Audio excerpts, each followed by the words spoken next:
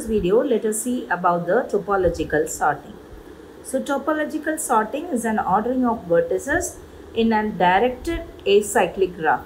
So what is mean by a directed acyclic graph is a graph with directions and the graph should not have any cycle. So say that this is not an cyclic graph because we don't have a cycle for this graph. Say this is node A, B and C. Fine. So this topological sorting cannot be applied if the graph has a cycle. Okay. So let us consider an example of where we can apply the topological sort. So say that you have to take the course prerequisite structure at the university. Say for example, only if you complete the course U, then you will be able to take up the course V. So say you have a directed edge from U to V. So it indicates that the course U must be completed before you take up the course V. Now, so every uh, directed acyclic graph will have at least one or more topological ordering. So it is that if a graph is a directed acyclic graph, it will have uh, one or more topological ordering and this topological sort cannot be applied as I mentioned earlier to the graph which has a cycle. Now let us see how to uh, perform the topological uh, ordering or topological sorting for a directed acyclic graph. So this is the given graph to us. Now first step is that we have to find out the step 1 is to find the in degree of every nodes of the uh, graph. Okay, so in degree of every vertex or every node of the graph we have to calculate.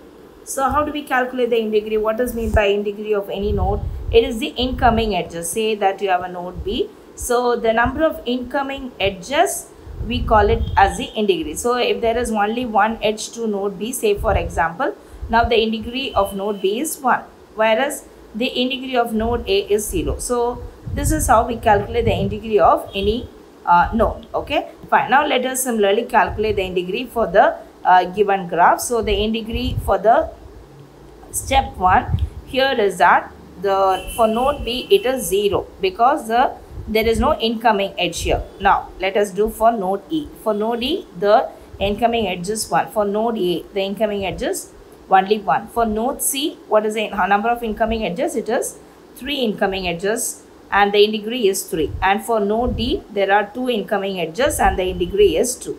Now what is our step 2? Our step 2 is to remove the node which has got the in degree as 0 along with its edges. Okay, so we have to remove the node with the in degree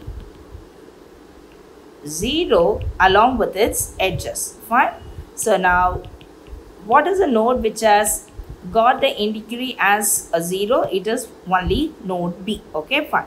So now let us remove the uh, edge which has got the in degree as 0. Okay. So we are going to remove this node along with its edges. Fine. So let us just redraw the uh, diagram again. So now our graph will be looking like with node E, then node A, node C, node. Fine. So both the edges and the nodes are removed. Okay, the node B is removed and the edges of it is removed. Now let us again calculate the in degree for every node of this uh, graph. Now for node E, what is the in degree? The in degree of node E is going to be 0. For in degree of node A, the number of edges, incoming edges, this only 1. And what about node C? The number of incoming edges is 2. And what about node D? The number of incoming edges is 2. Now, which node has got an degree uh, 0? It is the E node. Fine. So now we have to delete the node E along with its edges. Fine. So we'll delete this. Now, what will be the updated tree? So in parallel, yeah, we have to write down the sequence of ordering. So let us write down here. So first, the node B has got an in degree and we have deleted the edges and the node. So let us write in sequence and then we have deleted the node E. Fine. So let us write down in the output sequence the topological ordering too. Fine. Now coming to this, let us now redraw the graph. So we have got only C now and the vertex A, then vertex D and C.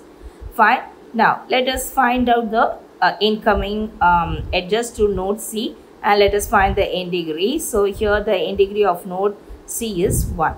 And what's the in degree of node D? It is 2. What's the in degree of node A? Node A, it is 0. Fine.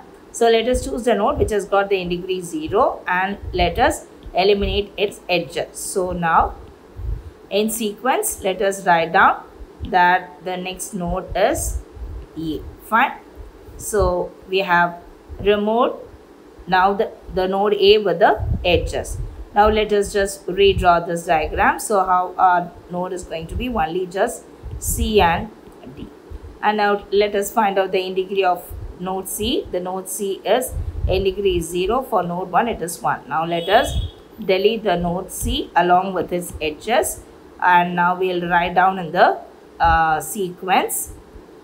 So let us write down the node C. Fine and our last node what is uh, which is left out is the node D. So let us write down node D and the degree for this node D is now just 0. Okay, so if it is 0 now let us delete the node and it has not got any edges. So let us write down in the sequence the node D. So this is the topological ordering for the given graph. And uh, what about its uh, time complexity? Is the running time of this uh, topological sort the order of vertex plus edges. Okay fine. And some of the few applications of topological uh, sorters it can be used to detect the uh, deadlock for detecting the uh, deadlock and then for representing the course prerequisites of the university. So this topological sort can be uh, used. So this is all about the topological sorting uh, method.